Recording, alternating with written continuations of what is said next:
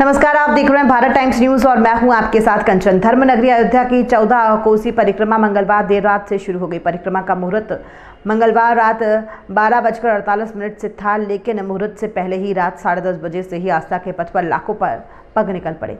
परिक्रमा पथ पर गूंजे जय श्री राम राम राम और सीताराम के स्वर ध्वनित हो रहे थे। परिक्रमा को देखते हुए रामनगरी में यातायात डायवर्जन लागू कर दिया गया है। अयोध्या में सभी प्रकार के वाहनों का प्रवेश प्रतिबंधित है। चौदह कोसी परिक्रमा में जैसे जैसे रात चढ़ती गई, आस्था के पथ पर श्रद्धालुओं की भीड़ भी बढ़ती रही। सुबह होते होते अयोध्या, फैजाबाद, मानव श्रृंखला में बंद सी गई। ऐसा लगा जैसे कि दोनों नगरों को भक्तों की माला पहना दी गई है। श्रद्धालुओं ने परिक्रमा पथ पर अपनी अपनी सुविधा के अनुसार पहले से निश्चित किए गए स्थान से परिक्रमा के लिए कदम बढ़ाया। दरअसल यह अयोध्या, दर्शन नगर, भीखापुर, देवकाली जनौरा नाका, हनुमानगढ़ी मोदहा, सिविल लाइन्स स्थित हनुमान मंदिर शहादतगंज अफीम कोठी आदि स्थानों से श्रद्धालुओं ने पूरे भक्ति की रौ में परिक्रमा करनी शुरू कर दी। वहीं नया घाट पर बड़ी संख्या में श्रद्धालुओं ने रात में ही पावन सरीला सरयू में डुबकी लगाई और परिक्रमा मुहूर्त का इंतज़ार करने लगे। श्रद्धालुओं की सेवा के लिए जगह जगह सेवा शिविर में लगे हुए थे। जलपान से लेकर चिकित्सा के पूरे इंतज़ाम परिक्रमा पथ पर दिखे। इससे पूर्व परिक्रमा को लेकर रामनगरी सुबह से ही भक्तों से गुलजार हो उठे। अयोध्या में उमड़े भक्तों ने पावन सरीला सरयू में डुबकी लगाई। इसके बाद विभिन्न मंदिरों में दर्शन पूजन किया। बता दें कि चौदह कोसी परिक्रमा में प्रशासन द्वारा सुरक्षा के व्यापक प्रबंध किए गए हैं।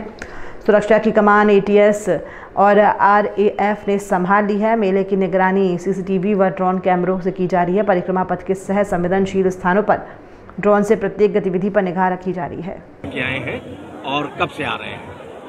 अब यहाँ फ़र्स्ट टाइम है। वैसे हम बाहर रहते हैं यमुनानगर जगाधरी हरियाणा स्टेट में। तो यहाँ अपने गाँव आए हुए थे तो कुछ फ्रेंड ने कहा था कि चलना है। तो हमने उसी श्रद्धा भाव अपनी एक श्रद्धा भाव से घर से तो कोई साथ मिला नहीं था फिर हम अकेले लेने के परिक्रमा करने के लिए ही आए हैं फिर। क्या भावना है श्रद्धा भाव क्या है? श्रद्धा भाव कुछ नहीं है एक वो मन से आवाज़ आई थी कि जाना जाना है। क्या अब आगे अब आगे देख नहीं क्या देख- आपको क्या है लोगों ने बताया परिक्रमा करने से क्या मिलेगा? अभी तक हम इस मामले किसी के साथ तो बैठे नहीं थे। तो बस पहली बार मन में हो गया था कि परिक्रमा करनी करनी है। क्या नाम है आपका? विश्वजीत पाठक। और क्या इसके पीछे धारणा है? हम अपने बच्चों के लिए परिक्रमा कर रहे हैं। जो भी कोई ख्वाहिश उन लोग की पूरी हो जो भी मानता उन लोग की पूरी हो इसलिए हम लोग परिक्रमा करते हैं। पूरी भी होती है। ऐसी बात नहीं नहीं पूरी होती है।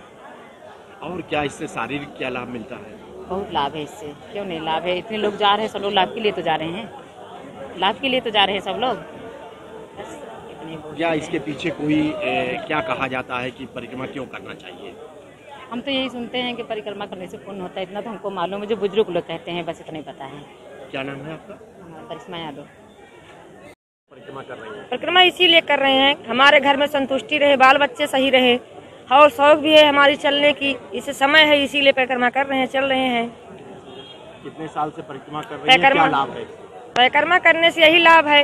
देह दशा सुरक्षित रहेगी अपना हाथ पैर बना रहेगा यही सब लाभ है परिक्रमा करने से। वो परिक्रमा तो हमको हो गया आठ साल करते हुए। क्या नाम है आपका? सुशीला पाठक।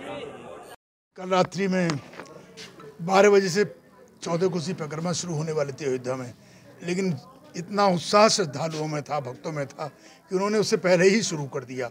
और मैं समझता हूँ कि लाखों लोगों की भीड़ है और एक अजीब सा उत्साह है इस बार।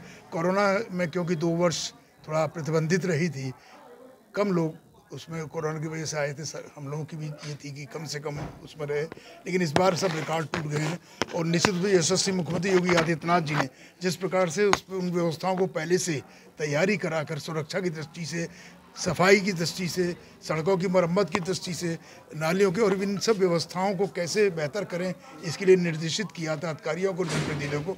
हम लोगों ने भी निश्चित रूप से लगातार तीन चार दिन सांसद जी भी थे, हम भी थे। हम सब लोगों ने उन व्यवस्थाओं को बेहतर कराने का प्रयास किया और मुझे प्रसन्नता है कि आज अयोध्या में ये ऐतिहासिक, मैं कह सकता हूँ राम बहुत हर्ष उल्लास के साथ अयोध्या में चौदह कोसी प्रारंभ परिक्रमा अच्छे नवमी के पर्व पर मनाया जाता है और परिक्रमा करने से चौरासी लाख योनियों से भटकने से मुक्ति मिलती है। इसलिए अयोध्या में लाखों की संख्या में श्रद्धालु पहुँच करके तन, मन, धन से और बहुत ही आस्था से परिक्रमा पूर्ण कर रहे हैं और आज के दिन परिक्रमा करने से, यज्ञ, तप, जप करने से उनको मोक्ष की प्राप्ति होती है।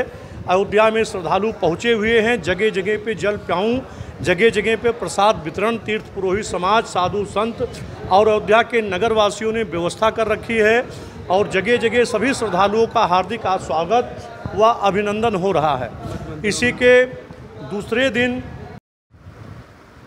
अयोध्या में अनादि परंपरा से चौदह कोसी परिक्रमा का कार्यक्रम चल रहा है। बीच में दो वर्ष कोरोना काल में लोगों का आना संभव नहीं हो पाया।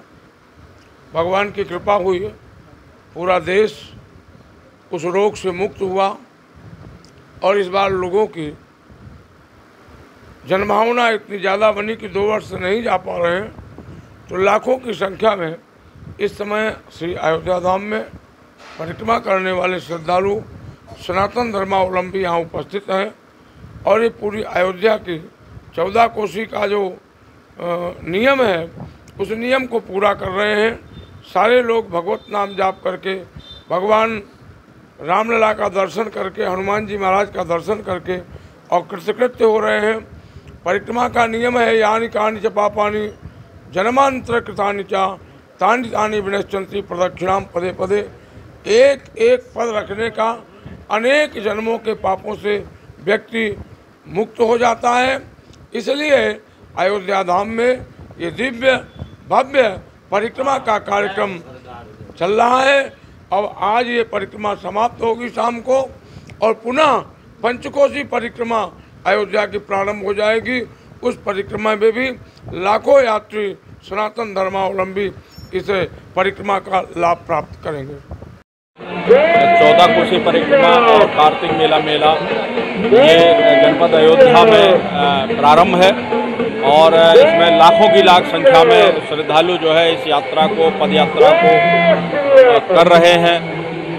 पूरे जो यात्रा है, इसको चौदह जो चौदह कोसी परिक्रमा है, इसको पाँच जोन और नौ सेक्टर में विभाजित किया गया है। हर सेक्टर में अपर पुलिस अधीक्षक स्तर के अधिकारी लगाए गए हैं। जोन में अपर पुलिस अधीक्षक स्तर के अधिकारी लगाए हैं। सेक्टर में पुलिस उपाधीक्षक स्तर के अधिकारी लगाए हैं। महत्वपूर्ण पॉइंटों पर ड्यूटियाँ लगाई गई हैं। उनमें inspector, sub inspector, constable head, constable level के अधिकारी लगाए गए हैं। ट्रैफ़िक व्यवस्था को सुचारू बनाए रखने के लिए डाइवर्जन पॉइंट बनाए गए हैं। जगह जगह बैरियर लगाकर ट्रैफ़िक को डाइवर्ट किया जा रहा है। इसके अलावा जो महत्वपूर्ण रेलवे क्रॉसिंग हैं, उन पर पर्याप्त पुलिस बल लगाया गया है और उन पर स्टॉपर्स लगाए गए हैं ड्रॉप बैरियर लगाए गए हैं ताकि ट्रेन के आने पर यात्रियों को रोका जा सके और सकुशल उनको फिर ट्रेन निकल जाने के बाद अपनी यात्रा प्रारंभ कराई जा सके। तो पर्याप्त इंतज़ाम है। आज ड्रोन से भी निगरानी की गई थी। तो इस तरह से अभी यात्रा प्रारंभ है और ये सकुशल संपन्न है।